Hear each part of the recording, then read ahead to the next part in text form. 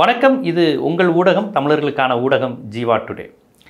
இன்று நம்ம ஒரு முக்கியமான பிரச்சனை தொடர்ச்சியாக ஜீவா டுடே சுட்டி காட்டுகின்ற அதே பிரச்சனையை பற்றி தான் அதனுடைய அடுத்த கட்டம் எந்த அளவுக்கு மோசமாக போயிருக்குங்கிறத பற்றி நான் பேச போகிறேன் அந்த விஷயத்தை பற்றி பேசலாம். அதற்கு முன்பு நம்ம ஜீவா டுடே ஊடகத்தை இதுவரை சப்ஸ்கிரைப் செய்யாத நண்பர்கள் சப்ஸ்கிரைப் செஞ்சுக்கோங்க. ஆதரவு தாங்க. ஃபேஸ்புக் ஜீவா டுடே ஃபேஸ்புக் இருக்குது அதையும் ஃபாலோ பண்ணி ஆதரவு தாங்க. நன்றி. பாலிடெக்னிக் தேர்வு முடிவுகள் வெளியாகியிருக்கு. எப்போவுமே எக்ஸாம் முடிஞ்சால் சர்டிஃபிகேட் எல்லாம் வெரிஃபிகேஷன் பண்ணுவாங்க. அவங்க கொடுத்த சர்டிஃபிகேட் உண்மைதானா? என்ன கோர்ஸ் முடிச்சிருக்கிறாங்க? கம்யூனிட்டி சர்டிஃபிகேட்டு அவங்க எந்த ஊர் அட்ரஸ் உண்மையாக ஃபேக்கான ஆளா இதெல்லாம் சரி பார்ப்பாங்க. சரி பார்க்கும்போது தான் திடுக்கிற திட்டுக்கு திட்டுக்கு திட்டுக்குன்னு தகவல் வந்திருக்கு. என்ன தெரியுமா? தமிழ்நாட்டில் தமிழக அரசினுடைய பாலிடெக்னிக்கில் பேராசிரியராக பணிபுரிவதற்கு ஃபுல்லாக வடநாட்டவர் தான் இருக்கிறாங்க. எப்படி இத்தனை பேர் அப்ளிகேஷன் போட்டு இப்போ அவங்க செலக்ட் ஆகிட்டாங்க தமிழ்நாட்டில் நம்ம பிள்ளைங்களுக்கு பாலிடெக்னிக்கில் பாடம் சொல்லி தர்றதுக்கு தமிழனே இல்லையா? பீகார் குஜராத் மகாராஷ்டிரா மாநிலங்களில் இருந்து தான் பெரும்பாலானோர் தேர்வு செய்யப்பட்டிருக்கிறாங்க அப்படிங்கிற அதிர்ச்சியான செய்தி கிடச்சிருக்கு. எனக்கு நேற்று ஒருத்தர் அனுப்புகிறவர் நீங்கள் ஏதோ தமிழ்நாட்டில் தமிழருக்கு வேலை தமிழ்நாட்டில் தமிழர்களுக்கு வேலை வட இந்திய ஆதிக்கம் மார்வாடி ஆதிக்கம் பேசிக்கிட்டு தான் இருக்கீங்க. ஒன்றும் நடக்கலை. இப்போ பாருங்கள் பாலிடெக்னிக் ப்ரொஃபஸர்ஸ் கூட பால் சொல்லி கொடுக்குற இடத்துல தமிழனுக்கு சொல்லி கொடுக்குற இடத்துல கூட வட இந்தியர்கள் வந்துட்டாங்களே ஜீவா அப்படின்னு நேற்று ஒருத்தர் ஆதங்கத்தோடு பதிவு போட்டிருந்தாரு. எனக்கு ரொம்ப மனசு கஷ்டமாயிருக்கு. ஏங்க நான் தொடர்ச்சியாக பேசுகிறேன் தமிழ்நாட்டில் வணிகத்தில் பொருளாதாரத்தில் இந்த மாதிரி வேலைவாய்ப்பில் சிறு குறு தொழில் எல்லாவற்றிலையும் வட இந்தியர்கள் வந்துட்டாங்கங்க. இது பெரிய ஆபத்துங்க. நான் தொடர்ச்சியாக கத்திக்கிட்டு இருக்கேன். இப்போ என்னென்னா அடுத்தடுத்து எனக்கு வந்து நீ இது இது இது குறைஞ்சிருச்சு. அதற்கான நடவடிக்கைகள் வருதுன்னு எந்த செய்தியுமே எனக்கு வரமாட்டேங்குது. திருப்பி திருப்பி வட இந்தியர்களுடைய ஆதிக்கம் மட்டும்தான் வருது. வட இந்தியர்களுடைய ஆதிக்கம் எவ்வளோ பெரிய ஆபத்து. நம் இனத்திற்கு ஆபத்து நம் மொழிக்கு ஆபத்து நம்ம பிள்ளைங்களுடைய படிப்புக்கு ஆபத்து நம்ம பிள்ளைங்களுடைய பண்பாடு கலாச்சார வழ கலக்கம் பல்வேறு விஷயங்கள் இது ஆபத்து. இந் தமிழ்நாட்டு தேர்தல் மரபுக்கு ஆபத்து தமிழ்நாட்டின் பண்பு நலனுக்கு ஆபத்து நான் கிளிப்பிள்ளைக்கு சொல்கிற மாதிரி நான் சொல்லிக்கிட்டே இருக்கேன். ஆனால் பாருங்கள் பாலிடெக்னிக் ப்ரொஃபஸர் ஏங்க பாலிடெக்னிக் ப்ரொஃபஸர் மகாராஷ்டிராக்காரனும் குஜராத்காரனும் தான் வந்து தமிழனுக்கு வந்து கிளாஸ் எடுக்கணுமா பாலிடெக்னிக்கு? தமிழனை விட அவங்களுடைய மேத்தமெட்டிக்ஸ் நாலேஜ் பாலிடெக்னிக் நாலேஜ் வந்து அதிகமாக தமிழனை விட அறிவாளி இருக்கிறானா? இல்லைங்க நான் இதை- இது கர்வத்தோடையே கேட்குறேன். இந்தியாவுடைய அடையாளமே இதுதான். இந்தியாவுடைய அறிவு சுரங்கமே தமிழ்நாடு தான். இந்தியாவில் சிந்திப்பவர்கள் தொலைநோக்கு பார்வையோடு பார்க்கக்கூடிய சிந்தனையுடையவர்கள் பண்புடையவர்கள் மாப் லிஞ்சுங்கிற பேரில் ஒருத்தரை போட்டு அடிக்காதவங்க அடுத்த தேசிய இனத்துக்காரனை துன்புறுத்தாதவங்க தமிழ்நாட்டில் இருக்கக்கூடிய பிற மாநிலத்தவர் பிற மொழி பேசுகிறவங்களை மரியாதையுடனும் அரவணைப்புடன் நடத்தக்கூடிய உயர்ந்த விருந்தோம்பல் பண்புடையவர்கள் தமிழர்கள் தான். ஆனால் இப்பேற்பட்ட தமிழனை தொடர்ச்சியாக அவனுடைய சொந்த மண்ணிலேயே தமிழர்களே அகதிகளாக வேலை வாய்ப்பு அற்றவர்களாக பொருளாதார வாய்ப்பு வசதி பெற முடியாதவர்களாக தொடர்ச்சியாக அவர்களை ஆக்குகிற இந்த முயற்சி இது ஒரு திட்டமிட்ட இனப்படுகொலை தாங்க குண்டு போட்டு ஒரு இனத்தை அழிக்கணும்னு இல்லை. அவனுடைய பல்கலைக்கழகம் அவனுடைய அறிவு சுரங்கம் அவனுடைய நூலகம் அவனுடைய வரலாற்று பெருமிதம் அவனோட அறிவு சுரங்கம் இதில் போய் நீங்கள் தீய வச்சு கொளுத்தி போட்டாலே போதும். அந்த இனம் அழிஞ்சிரும். இப்போ அவனுக்கான வேலை வாய்ப்பை தமிழ்நாட்டில் இருந்தே தமிழர்களை அந்நியப்படுத்துகிறது எப்படி இருக்கிறது? பாலிடெக்னிக் பணிக்கு எதுக்கு தமிழ்நாட்டில் இருக்கின்ற தமிழக அரசின் கீழ் இருக்கக்கூடிய ஒரு பாலிடெக்னிக் பணியில் எதற்கு குஜராத்துக்காரங்க வராங்க மராத்தியர்கள் வராங்க பீகார்காரங்க வராங்க? என்னன்னு கேட்டால் நம்ம மு நம்ம முதலமைச்சர் ஒரு இது போட்டது ரொம்ப முக்கியமான விஷயம். நான் கூட அதை பலமுறை பாராட்டியிருக்கேன். தமிழ்நாட்டில் தமிழ் தெரிந்தவர்களுக்கே வேலைவாய்ப்பு டிஎன்பிசியில் வேலைவாய்ப்பு எடுக்கும்போது தமிழ் தெரிஞ்சிருக்கான்னு ஒரு கான்செப்ட் வச்சுருப்போம். அது டிஎன்பிசியில் ஆசிரியர் தேர்வு வாரியத்தில் நடத்துகிற தேர்வுகளுக்கு அது பொருந்தாதான் தமிழ் தெரிந்திருக்கணுங்கிற அவசியம் இல்லையா தமிழ் தெரிந்திருக்கணுங்கிற அவசியம் இல்லாத காரணத்தினால்தான் இப்படி தமிழ் தாய்மொழி அல்லாத பீகாரி மகாராஷ்டிரா குஜராத்தி போன்றவங்க இப்போ உள்ளே வந்திருக்காங்க. புரியுதுங்களா அப்படி ஒரு ரூல் வந்து போட்டு நம்ம முதலமைச்சர் போட்டும். எங்கேயாவது ஒரு லூப்பில் ஹோலில் அந்த எங்கே அந்த ஓட்டை இருக்குது அப்படின்னு கரெக்டாக அந்த குறுக்கு வழியில் வந்துடுறாங்க. இது குறுக்கு வழின்னு கூட சொல்ல முடியாது. இப்போ அவங்க சொல்லுவாங்கள்ல தமிழ் தெரிஞ்சிருக்கணும் கட்டாயம் இல்லைன்னு. தமிழ் தெரிஞ்சிருக்கணுங்கிற கட்டாயம் இல்லைங்கிறதுக்காண்டி தமிழ்நாடு அரசு பணியிலலாம் வட இந்தியர்களையும் குஜராத்தியும் மராத்தியர்களையும் சேர்க்கறதுலாம் ஒரு அடிப்படை நேர்மை அறம் வேணாமாங்க. குஜராத்தியினுடைய அரசு நிறுவனங்களில் குஜராத்தி மொழி தெரியாத. எத்தனை பேர் வேலை பார்க்க முடியும்னு நினைக்கிறீங்க நீங்கள் மகாராஷ்டிராவில் சிவசேனா ஏரியாவில் எத்தனை தமிழர்கள் மகாராஷ்டிரா அரசு நிறுவனத்தில் வாத்தியாராகவும் ப்ரொஃபஸராகவும் கவர்மெண்ட் எம்ப்ளாயி மராத்திய அரசிடமிருந்து அரசு பணம் பெறுகின்ற இடத்தில் எத்தனை தமிழன் இருந்துட முடியும்னு நினைக்கிறீங்க நீங்கள் நான் ஏன் அப்படி சொல்கிறேன்னு உங்களுக்கு தெரியும். மகாராஷ்டிரா எப்படிப்பட்ட ஏரியா? குஜராத் எப்படிப்பட்ட ஏரியான்னு.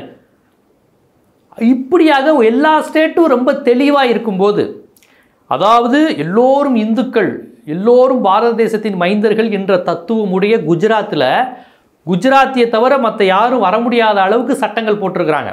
தொண்ணூறு விழுக்காடு அந்த குஜராத்திகள் மட்டும்தான் அங்கே எல்லா பிரைவேட் செக்டார் முதற்கொண்டு இருக்க முடியும்னு சட்டம் போட்டிருக்கிறாங்க. இது குறித்து நான் ஏற்கனவே பலமுறை ஆதாரத்துடன் சொல்லியிருக்கிறேன்.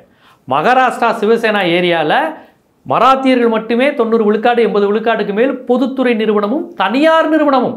ஒரு மகாராஷ்டிராவில் பிரைவேட் செக்டாரில் கூட நீங்கள் மகாராஷ்டிராவுடைய எண்ணிக்கையை குறைக்க முடியாது. கர்நாடகாவில் சட்டம் இருக்குங்க.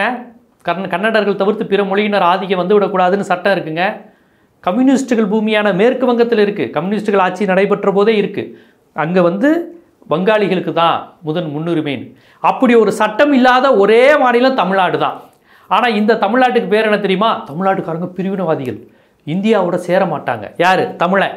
வரவன் போகிறவன் எல்லாம் தமிழ்நாட்டில் வந்து எல்லா வாய்ப்புகளையும் வழங்கிக்கிட்டு இருக்கிறாங்க பானிபூரி விற்கிறதுல இருந்து இப்போ பாலிடெக்னிக் ப்ரொஃபஸர் வரையும் எவனும் தமிழன் கிடையாது. பானிபூரி விற்கிறது பீகாரி பாலிடெக்னிக் ப்ரொஃபஸரும் பீகாரி. அப்போ தமிழை வந்து கொடுக்கக்கூடிய இடத்துல மட்டும் இருப்பான். பீகாரிக்கு பணம் கொடுக்கக்கூடிய இடத்தில் அவர்களுக்கு வந்து நம்மளுடைய வரி பணத்தில் சம்பளம் கொடுக்கக்கூடிய இடத்தில் தமிழர்கள் வளர்ந்துக்கிட்டு இருக்கிறான். இதெல்லாம் எங்கே போய் முடியும்னு தெரியல. உலகத்திலேயே இப்படி ஒரு இழிச்சவாயன்னு சொல்லுவாங்களே தமிழன் தான் இழிச்சவாயன். அவனுடைய வரிப்பணத்தை போட்டு ஒரு அரசை உருவாக்கி அந்த அரசு சம்பளம் கொடுக்கறதுக்கு மகாராஷ்டிராக்காரனையும் குஜராத்காரனையும் பீகார்காரனையும் கொடுக்குறான்னா தமிழன மாதிரி இழிச்சவன் யாரும் இல்லை. யாதும் ஊரே யாவரும் கேள்விங்கிறது உயர்ந்த தத்துவம்.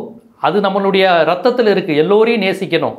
மொழி கடந்து தேசம் கடந்து உலகத்தின் அனைவரையும் உறவினராக பார்க்கக்கூடிய பெருந்தன்மை நம்ம தமிழனுக்கு உண்டு. எனக்கு உண்டு உங்களுக்கு உண்டு. அது எனக்கு தெரியும். அந்த பண்பிலிருந்து நம்ம மாறப் போகிறதில்ல ஆனால் அதுக்காக நம்ம ரத்தத்தை எடுத்து ரத்தத்தை உறிஞ்சி இன்னொரு தேசிய நமக்கு ஆக்கிரமிப்பு செய்வதை எப்படி ஏற்றுக்கொள்ள முடியும்? நமக்கு பிரிவினவாதிகள்ங்கிற பட்டம் வேற. இவ்வளவு ரத்தத்தை கொடுத்து அடுத்தவனை வாழ வச்சுட்டு நம்ம வந்து இதில் பிரிவினவாதிகள் தேச துரோகிங்கிற பட்டம் வேற தமிழ்நாட்டுக்காரனுக்கு. இது எவ்வளவு மோசம்? நானும் இது பல முறை பேசிட்டேன். வட இந்தியர் ஆதிக்கம் மார்வாடிகள் ஆதிக்கம். அதுக்கு எல்லா மாநிலத்திலையும் பிற மாநிலத்தவர் வரவிடாத அளவுக்கு சட்டம் போட்டு தடுத்துருக்குறாங்க. நம்ம ஏன் அந்த சட்டத்தை போட மாட்டேங்கிறோம்னு பல முறை கேட்டுட்டேன். நான் தமிழக அரசுக்கு நமது மாண்புமிகு நமது முதலமைச்சர் அவர்களுக்கு அவர் கொரோனா தொற்றிலிருந்து மீண்டு வந்திருக்கிறாங்க. மக்கள் பணியில் தொடர்ச்சியாக செயல்படுறாங்க. தயவு செய்து ஜீவா டுடே மூலமாக அந்த கோரிக்கையை வைக்கிறேன். நீங்கள் தமிழர் நலன் மீது அக்கறை கொண்டவர்கள் தமிழ்நாடு என்று பேர் வைத்த பெருமை திராவிட முன்னேற்ற கழகத்துக்கு சாரும் நேற்று பெருமையாக பேசியிருக்கீங்க. உலகில் குரங்கிலிருந்து வந்த மனிதன் தொன் தொன்மை வரலாறு அப்படின்னு எப்படி எடுத்துக்கிட்டாலும் தமிழனுடைய தொன்மைங்கிறது அவ்வளோ பெருசு. இதை தமிழர்கள் அல்லாத அறிஞர்களே சொல்லியிருக்கிறாங்க. அதையெல்லாம் நினைவு சுட்டிக்காட்டி நீங்கள் பேசுனது ரொம்ப மகிழ்ச்சி. அதே சமயம் இன்று வாழ்ந்து கொண்டிருக்கக்கூடிய நம்ம தமிழர்கள் தமிழர் நிலத்தில் நம்ம பூமியில் நம்ம தமிழ்நாட்டில் நம்ம வாழ்ந்துக்கிட்டு இருக்கோம். நம்ம தமிழ்நாட்டு முதலமைச்சர் நீங்கள் உங்கள்கிட்ட கேட்குறேன் தயவு செய்து தமிழ் தெரிந்தவர்களுக்கு மட்டும்தான் தமிழ்நாட்டில் வேலை. அவர்கள் தமிழ் தெரிந்தவர்களாக மட்டும் இருக்கக்கூடாது தமிழர்களாக இருக்கணும். சும்மா அந்த பத்து வருஷம் பீகார்லேருந்து வந்து இங்கே தங்கினவங்க மகாராஷ்டிராலேருந்து வந்து இங்கே பத்து வருஷம் தங்கினவங்க அவங்க தமிழ் படிச்சுக்குவாங்க. தமிழ் படிச்சுக்கிட்டு தமிழ் தெரிஞ்சவங்கிற கேட்டகரி அதெல்லாம் கிடையாது. அவர்கள் தமிழர்களாக இருக்கணும். ஒருவேளை தமிழ்நாட்டில் பஞ்சமுளைக்க வந்து ஒரு மூன்று தலைமுறை நான்கு தலைமுறை இங்கே வாழ்ந்துட்டாங்க தம்பி. அவங்கள விரட்டுவதுங்கிறது ஒரு பாசிச மனநிலைனா அதை நான் ஏற்கிறேன். ஏன்னா அஞ்சாறு தலைமுறையாக இங்கேயே தமிழனுடைய வளர்ந்து தமிழ்நாட்டு அரசியல் இதெல்லாம் அப்படி சில பேர் வேறு ஸ்டேட்லேருந்து வந்தவங்க இருப்பாங்க. அவர்களை அவர்களை வேலைவாய்ப்பை உறுதி செய்யலாம்னா அவர்களை போன்றவர்கள் கொடுப்பதை நான் வந்து மறுக்கலை. ஆனால் பீகாரில் நேற்று வரையும் இருந்துட்டு ராஜஸ்தானில் இருந்துக்கிட்டு மகாராஷ்டிராவில் இருந்துக்கிட்டு தமிழ்நாடுன்னு ஒரு இளிச்சவாயம் ஸ்டேட் இருக்கான். அங்கே தமிழே தெரிலனாலும் அங்கே நம்ம போய் பொழைச்சிக்கலாம். அவங்க சம்பாதிச்சு பணத்தை நம்ம கொடுப்பாங்க. நம்மளோட அறிவாளி அவங்க. ஆனால் நம்மளுக்கு தான் அதிக சம்பளம் கிடைக்குங்கிற மாதிரி வருவது என்பது உழைப்பு சுரண்டல். இதை கம்யூனிஸ்ட்டுகள் கையில் எடுக்கணும் இடதுசாரிகள் இதை கையில் எடுக்கணும். இது தேசியன பார்வை மட்டும் இல்லை வர்க்க பார்வை உழைப்பு சுருண்டல். அதிகாரம் ஒரு இடத்தில் குவிகிறது. பாதிக்கப்படுபவன் தமிழன். ஆகவே இதை இடதுசாரிகள் கையில் எடுக்கணும். பெரியார் அமைப்புகள் இதுக்காக தொடர்ச்சியாக குரல் கொடுக்கணும். தமிழ் தேசிய அமைப்புகள் குரல் கொடுக்கணும். இந்த மாதிரி பிரச்சனைகளை ஊடகங்கள் தயவு செய்து காமிங்க. பெரிய லெவலில் பிரச்சனையாக்குங்க. இன்றைக்கி ஊடகங்கள் தமிழ் ஊடக அதிபர்கள் தமிழ் ஊடக அதிபர்களுக்கும் சேர்த்து தான் இந்த போராட்டம். ஏன்னா இன்றைக்கி தமிழ்நாட்டில் இருக்கக்கூடிய ஊடகங்களில் நீங்கள் நிறைய எடுத்துக்கோங்க. நியூஸ் செவன் பாலிமர் புதிய தலைமுறையெல்லாம் தமிழர்கள் தான் முதலாளி. அந்த ஊடகங்களுடைய முதலாளியாக தமிழர்கள் வந்துட்டாங்க. ஒரு காலம் மாதிரி முழுக்க முழுக்க தமிழர் அல்லாதவர்கள் இருந்த காலகட்டமில் தமிழர்கள் நிறைய பேர் வந்துட்டாங்க. இப்படி இப்போ இருக்க பெரிய ஊடகங்கள் எல்லாமே தமிழர் கையில் தான் இருக்குது ஊடக முதலாளிகளாகவே அப்போ இது உங்களுக்கும் ஆபத்து தான். இப்படி மார்வாடிகளுடைய ஆதிக்கம் வட இந்தியர்கள் ஆதிக்கம் எல்லா துறையிலும் வந்துருச்சுன்னா நாளைக்கு தமிழர்கள் முதலாளியாவதும் தமிழர்கள் ஊடக அதிபர்களாவதும் மிகப்பெரிய அளவில் பாதிக்கப்படும். ஆகவே தயவுசெய்து தமிழ் ஊடகங்கள் இந்த மாதிரி தமிழர் பிரச்சனை தமிழர் வேலைவாய்ப்பு பிரச்சனை பாலிடெக்னிக்கில் நார்த் இந்தியாக்காரங்க வந்துட்டாங்க. இந்த மாதிரியான போராட்டங்கள் இந்த அமைப்புகள்லாம் பண்ணால் தயவு செய்து அதை காமிங்க. அதை பெரிதுபடுத்துங்க. மக்களிடம் இந்த அரசியலை கொண்டு சேருங்க. ஏன்னா இது உங்களுக்கும் சேர்த்து போராட்டம். ஊடக அதிபர்களுக்கும் சேர்த்து போராட்டம் ஊடக ஊழியர்களுக்கும் சார்த்து போராட்டம். அனைத்து தமிழர்களுக்குமான போராட்டம். ஆகவே இந்த பாலிடெக்னிக் பரீட்சையின் மூலமாக தேர்ந்தெடுத்த அனைத்து வட இந்தியர்களையும் தமிழர் அல்லாதவர்களையும் தயவு செய்து நீங்கள் வந்து மறுபரிசீலனை செஞ்சுட்டு முறையாக மீண்டும் தமிழ் தெரிந்தவர்கள் மட்டும் தமிழ்நாட்டை சேர்ந்தவர்கள் மட்டுங்கிற அடிப்படையில் இந்த தேர்வை நடத்தணும்னு கேட்டுக்கிறேன். ஏன்னா தமிழை இழிச்சுவாயம் கிடையாது. அருப்புக்கோட்டையில் இல்லையா? பாலிடெக்னிக் ப்ரொஃபஸர் தகுதி அருப்புக்கோட்டைக்காரனுக்கு இல்லையா? பாரப்பட்டிக்காரனுக்கு இல்லையா? செக்கானூடிக்காரனுக்கு இல்லையா? நக்கல்பட்டிக்காரனுக்கு இருக்கு இல்லையா நார்கோயில் கோயம்புத்தூர் திருப்பூர்லாம் தமிழனே இல்லையா? ஆகவே தயவுசெய்து இந்த தேர்வை நீங்கள் மறுதேர்வு நடத்துறது தான் ஒரு சரியான தீர்வாக இருக்கும். ஒரு ஒரு அடி நீங்கள் திருப்பி கொடுத்தா தான் அது சரி வரும். இல்லைன்னா அவங்க வந்து என்ன தெரியும் சொல்லுவாங்க? தமிழ் தெரியாதவங்க வருவாங்க. மூணு மாதம் ஆறு மாதத்தில் தமிழ் சொல்லி கொடுத்து அவங்கள தமிழ் பேச வச்சிடலாம். பேங்க்கில் இப்படி தான் சொல்லிக்கிட்டு இருக்காங்க. போஸ்ட் ஆஃபீஸு பேங்க்லலாம் தமிழ் தெரியாதவங்க தான் ஆனால் மூணு ஆறு மாதத்தில் தமிழ் கற்றுக்கிட்டு ட்ரெயினப் ஆயிடுவாங்களாம் ஏன்னா தமிழ்நாடு என்ன தலைவிதியா? இவங்களுக்கு தமிழ் சொல்லி தரணும்னு என்ன தெரியுமா ஆகும்? நம்ம போய் கடைசியில் ஹிந்தி கற்றுக்க ஆரம்பிக்கிறோம் ஆறு மாதத்தில் அரே பாவு காவுன்னுக்கிட்டு. ஆகவே இது தமிழை அளிக்கின்ற வேலை தமிழர்களை அளிக்கின்ற வேலை. தயவு செய்து இதை தமிழக அரசு உணர்ந்து சட்டங்களை தனியார் துறையோ பொதுத்துறையோ அரசு துறையோ தொண்ணூறு விழுக்காடு குறையாமல் மண்ணின் மைந்தர்களான தமிழர்கள் அந்தந்த மாநிலத்தைச் சேர்ந்தவர்கள் தான் இருக்கணுங்கிற அந்த சட்டத்தை தயவு செய்து தமிழ்நாடு போடுங்க. எல்லா மாநிலங்களும் இது போன்ற சட்டங்களெல்லாம் நிறைவேற்றிக்கிட்டு தான் இருக்கிறாங்க. புதுசு கிடையாது. துணிந்து தமிழ்நாடு அரசு இந்த முடிவை எடுக்கணும் இந்த சட்டத்தை நிறைவேற்றணும்னு ஜீவா டுடே பலமுறை கோரிக்கை விடுத்திருக்கு. இந்த முறை கொஞ்சம் வீரியமாகவே கோரிக்கை வைக்குது. கண்டிப்பாக தமிழ்நாடு முதலமைச்சர் செய்வார் என்று நான் மனமாற நம்புகிறேன். இது போன்ற அரசியல் ஜனநாயகம் சமூகம் மொழி உணர்வு குறித்த பல்வேறு விழிப்புணர்வு காணொளிகள் உங்களை வந்து சேர்வதற்கு ஜீவா டுடே சேனலை சப்ஸ்கிரைப் பண்ணுங்கள் ஆதரவு தாங்க. நன்றி.